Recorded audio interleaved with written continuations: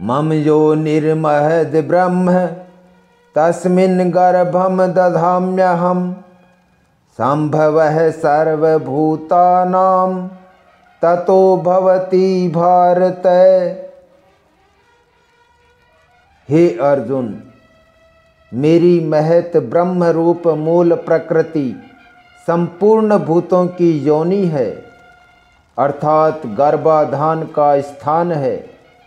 और मैं उस योनि में चेतन समुदाय रूप गर्भ को स्थापन करता हूँ।